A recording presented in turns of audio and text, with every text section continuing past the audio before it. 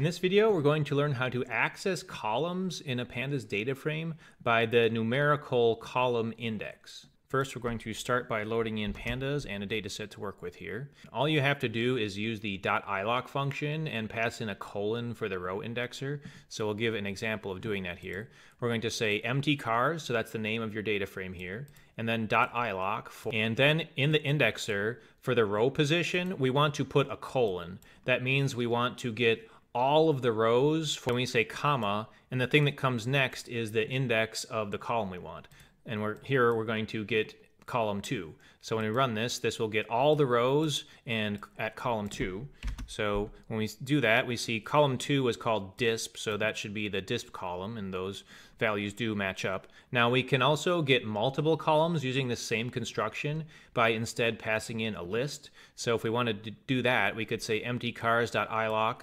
Again, we want all the rows, so we're going to put a colon in that position, then comma. Now we're going to pass a list of index values 2, 4, and 5. So that will get us columns 2, 4, and 5 here.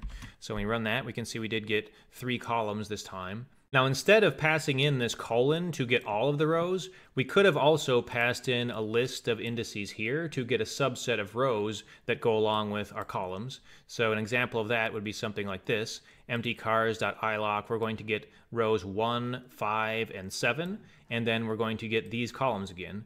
And I wanted to point out too that it's possible to do this without having to use iloc. You could instead use a subset of the columns themselves and just pass that into the normal data frame indexer. So when you normally index into a data frame just with square brackets, it's expecting a list of strings that are names of columns and it will get you back those columns. So we could essentially do the same thing by within the normal data frame indexer here without any loc or iloc in front of it we could pass in a list of the columns we want. Well the list of columns are stored in mtcars.columns so we could pass that in and then within the indexer for the columns we could then pass in a numerical list of the columns we want to. So this will ultimately get us the same values we want by passing in numerical indices, even though the mtcars.columns contain strings. It's just mapping these numbers into the column names first.